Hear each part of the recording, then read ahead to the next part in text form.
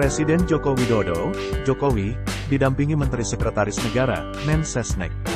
Pratikno menerima Menteri Koordinator Bidang Politik, Hukum, dan Keamanan, Menko Polhukam. Mahfud MD, di Istana Merdeka, Jakarta, Kamis, tanggal 1 Februari tahun 2024. Dalam pertemuan tersebut, Mahfud MD menyerahkan surat pengunduran diri dari jabatannya sebagai Menko Polhukam di Kabinet Indonesia Maju.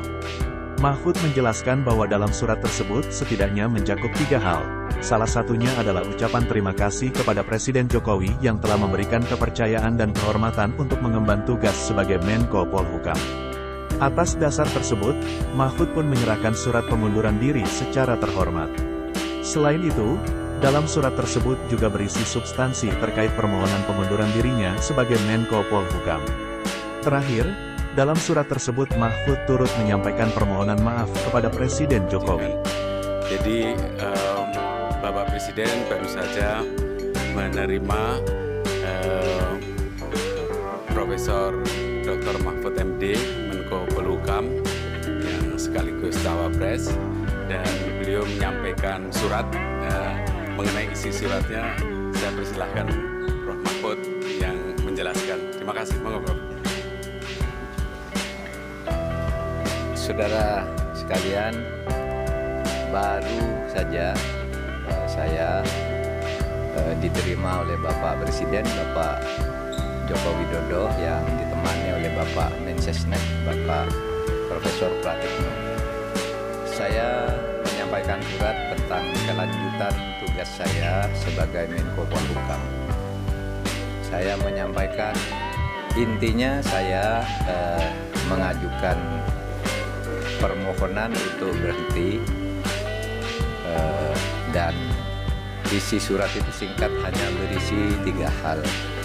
Pertama, saya uh, menyampaikan terima kasih kepada Presiden Republik Indonesia Bapak Joko Widodo yang pada tanggal 23 Oktober tahun 2019 mengangkat saya, melantik saya sebagai Menko Polhukam dan menyerahkan SK pengangkatannya dengan penuh penghormatan kepada saya dan penghormatan saya kepada beliau pada saat itu.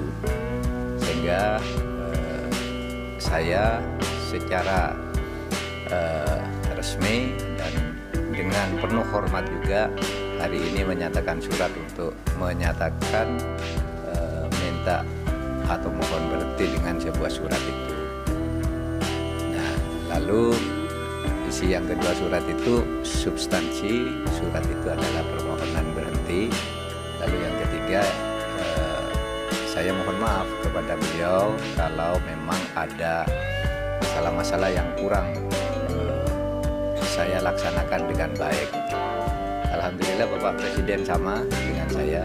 Kita bicara dari hati ke hati dan penuh kekeluargaan dan sama-sama tersenyum tidak ada ketegangan apa pun. Kita tersenyum bergembira bercerita masa lalu. Itu ketika kita kita mulai bekerja bahkan Pak Presiden mengatakan Pak Mahfud ini adalah uh, Menko Polhukam terlama dalam sepanjang pemerintahan Pak Jokowi. Karena dulu Pak Tejo tidak sampai setahun Pak Luhut setahun empat bulan kalau salah lalu Pak Wiranto tiga tahun setengah gitu.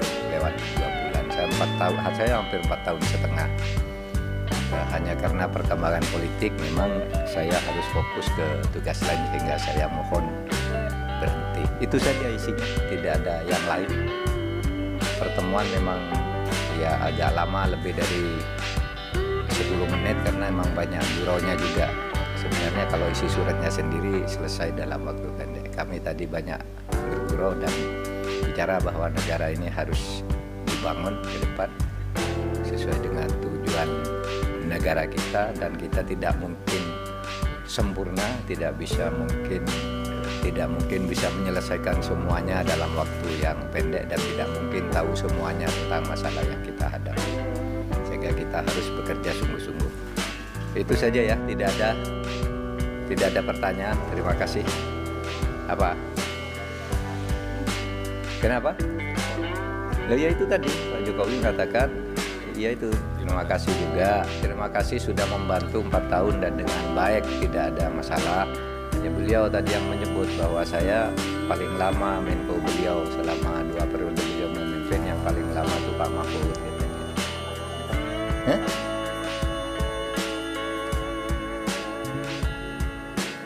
Oh enggak, itu kan itu kan pesannya udah sudah umum ya, sudah ada di konstitusi, ada di undang-undang, enggak ada, enggak ada pesan lagi. Wah, tidak lah. Itu kan enggak mungkin, enggak ada.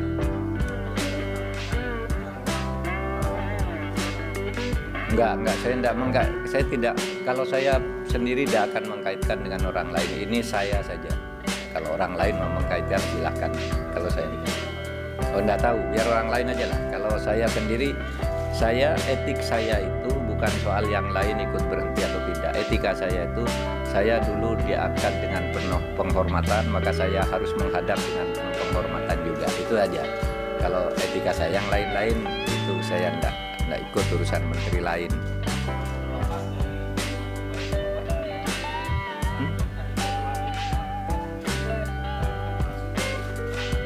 Ya.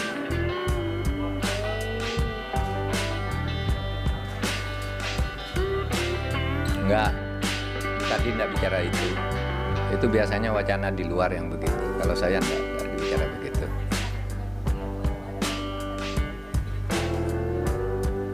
Enggak, karena sudahnya tugasnya sudah rutin, cuma tugas yang masih menggantung di tengah saya yang masih dilanjutkan karena tugas resmi dari Presiden.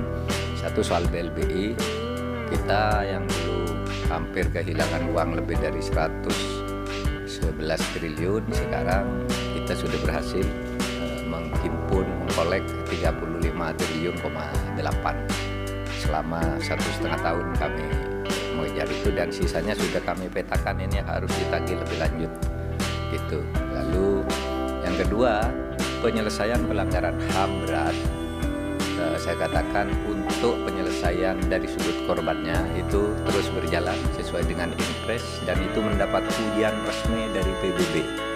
Pidato Dewan uh, Dewan HAM PBB di Jenewa itu memberi penghargaan karena telah uh, melakukan langkah-langkah lebih dulu dari langkah hukum yang masih rumit dan akan terus dikerjakan. Itu saya katakan itu masih terus berjalan.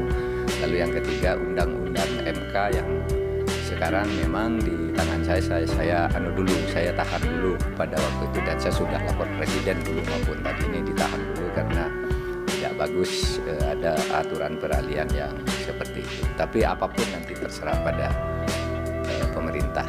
Itu aja tadi. Iya sampai ada kepres.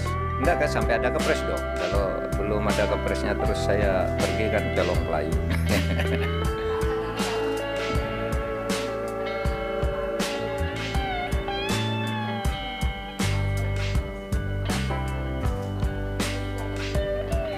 Iya, saya dengan Pak Jokowi tadi bergurau-gurau aja, sangat cair dan penuh penuh persaudaraan gitu, tidak ada ketegangan apa pun. Gitu. Tadi tidak bicara soal sidang, tapi bicara saya dengan Pak Jokowi. Ya tentulah, itu kan e, pemerintah pasti bisa menghandle itu, soliditas kabinet. Cukup ya, cukup makasih.